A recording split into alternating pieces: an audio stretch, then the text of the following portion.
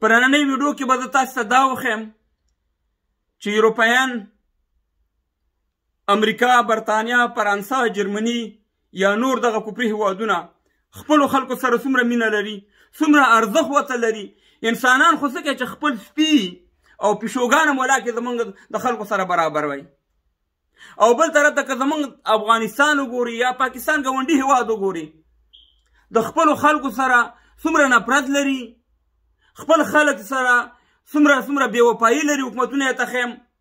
او پردي امریکایان ورته څومره او خارجیان ورته څومره ارزښت لري په دې باره کې زما د ویډیو له هیله کوم چې دغه ویډیو را سره ډېره شیر کړئ د عبرت په خاطر واني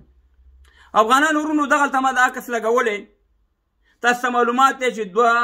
دوه جمعې مخکې تقریبا یو کشتی چې د یونان یونان نه راتله تقریبا اووه نیم سوه کسان پکې سواره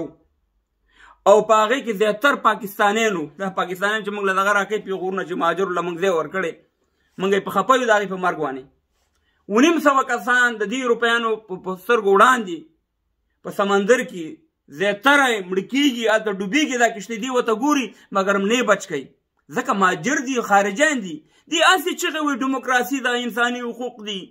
که انساني حقوق وي د انساني حقوقو خو دا غټ جرم دا دی چې تاسې دا کسان کاته باید دا محکمه شي که نه چې دی دا د محکمې او د شي نه جوړ کړي مګرم هغه وو نیم سوه کسانو کې لږ کسان بچ شو نو ټول لاړ سمندر ویوړ سه مهربانه او, او, او, او تباہ او برباد شو کشته خو بل طرف ته تاسو بل یو یو کیس وګورئ چې دغه جمعه کیږي چې په کاناډا کې تاسو معلومات چې ټایټانیک په نوم باندې یو کشته و چې یو سل دولس کاله مخکې ډوبه شوې د برتانیا کشته و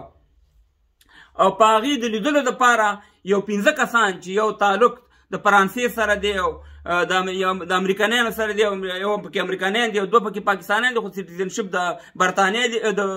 کاناډا دی که د امریکې دی او یو کس بل دی پنځه کسان دا د ټایټانیک د دغه کشته چې ډوبه شوې ده دې د لیدلو لپاره سم سمندر ته لاندې کوزیږي او د یو د دغه یو لیدلو لپاره په دوه نیم لکه ډالر یو کس ټکټ اخلي مګر مګه چې څنګه روانېږي هغه کشته سه مهربانه چې دا وړه کشته دی جوړ کړی دا کسې ما لګولې د کشته په شکل کې د ډبې په شکل کې دا چې څنګه زی دا ډوبېږي د یورپ ټوله میډیا ټوله سوشل میډیا ټوله دنیا په خبرې کوي چې دغه پنځه کسان څنګه ډوب شو ول ډوب شو دا غي د پاره امکانات برابرې رقم رقم چیرې اوس دا مړی را پیدا کی وګرځي د ورپسې رقم رقم دربینونه ور واچول خو بل طرف ته چې تاسو وګورئ ونیم سوه کسان په یو کشتۍ کې ډوبېږي دی ورته ګوري مګر لاړه ختم شو دا وجه څه شی ده وجه دا ده چې دې خلکو سره د خپلو خلکو فکر شته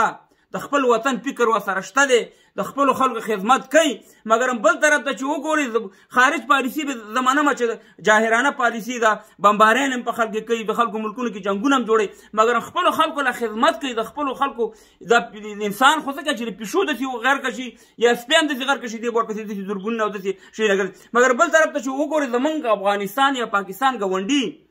تاسو یقین وکړئ چې دغه پنځوس کاله یا پنځه څلوېښت کاله په افغانستان کې جنګ وو یقین وکړئ چې دومره ظلم امریکاني نه دی کړی لکه څومره ظلم چې یو بل سره موږ کړی دی دومره ظلم روسیانو نه دی کړی لکه څومره ظلم چې موږ یو بل سره کړی او تاسو به تاسو به یو غټه واقع وخیم د کابل واقع خو هم یاد شي کنه چې اویا زره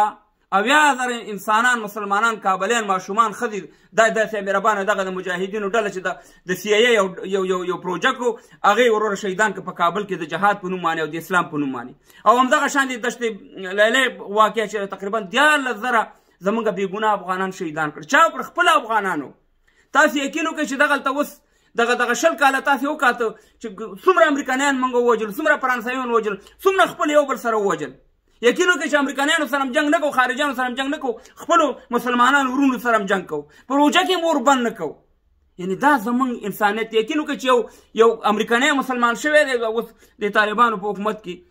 یقینا کوي چې طالبان د سي ګرځي لکه لکه سړی چې شاو ګرځي شاو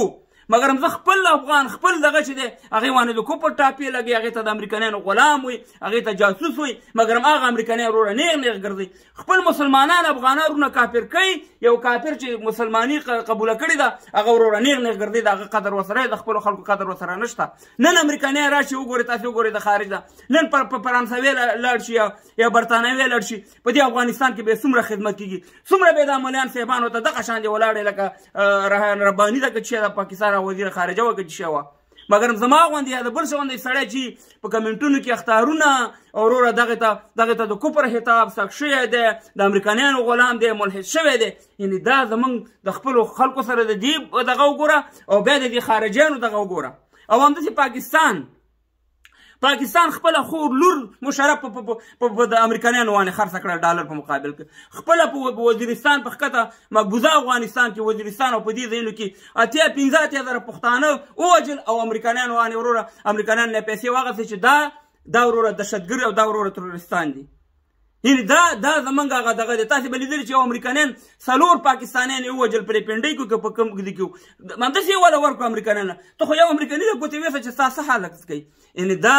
وګورئ چې کفار که هر څومره پالیسی لري د مسلمانانو په باره کې هر څومره دغه لري خو مګر د خپلو خلکو خدمت کوي د خپلو خلکو ته دا کوي مګر د بده مرغه زمونږ وطنونه چې دي هغې د کفارو مرګړتیا کوي د کفارو هغه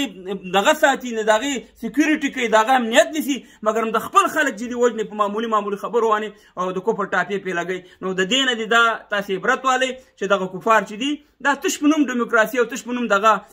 وومن رائټ خبرې چې کوي د خپل خلکو د پاره دی بالکل هر رقم دغه کوي قرباني ورکي امکانات به برابرې هر رقم سہولت برابرې مګر زمون خلک چې دي زمون حکومتونه صرف د خپل خلکو لپاره تکړه دي مګر پردو خلکو ته هیڅ شي نشي ویلې پردو خلکو د دغه شان دی ولاړې سه مهربانه په خیر علي اکا چې په کوم نه راغلي نو دغه دغه فرق دی الله دیو کی چې زما دا ویډیو پیغام تاسو شیر کړئ تاسو دا معلومات بلند شي د د انسانیت او د دیموکراسي او د خپل حکومتونو چې هغه صرف صرف د کفارو سره ښه برتاو کوي مګر د خپل مسلمان ور سره برتاو نه کوي هغه وانه د کوپر ټاپې لګي هغه وخی ټکه او سیمه نه ذلیل کوي الله دې چې زما پیغام ستاسو خوښ شوی وي او دغه وګوري تاسو وکاته چې د پنځو کسانو په سر وانی ټوله دنیا راغستې ده او پیسې لګي چې دغه مړي پیدا کړي